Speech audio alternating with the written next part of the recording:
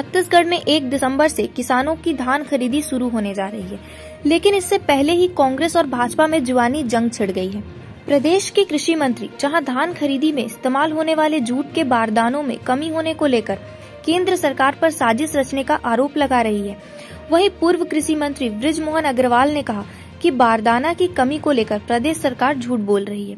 बारदाने की व्यवस्था करना राज्य सरकार की ज़िम्मेदारी है। कांग्रेस सरकार अपनी कमी को छिपाने के लिए केंद्र सरकार पर आरोप लगा रही है। ये सरकार पूरी तरह असत्य बोलने वाली, झूठ बोलने वाली सरकार है। विधानसभा में सरकार ने जवाब दिया है कि बोरे की व्यवस्था करने की ज़िम्मेदारी राज्य सरकार की है।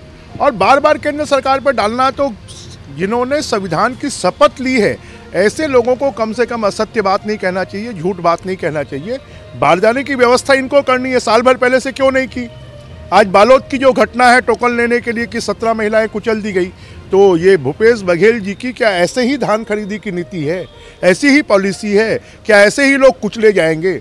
पच्चीस सौ रुपये देकर उन्होंने अपनी तीसरी समझ ली बिजली के कनेक्शन नहीं दे रहे हैं खाद की सब्सिडी नहीं दे रहे हैं आ, किसानों को उनका शोषण कर रहे हैं। तो ये बहुत ये सरकार जो है ये अनारकी सरकार है ये सरकार में कहीं पर कोई व्यवस्था नहीं है।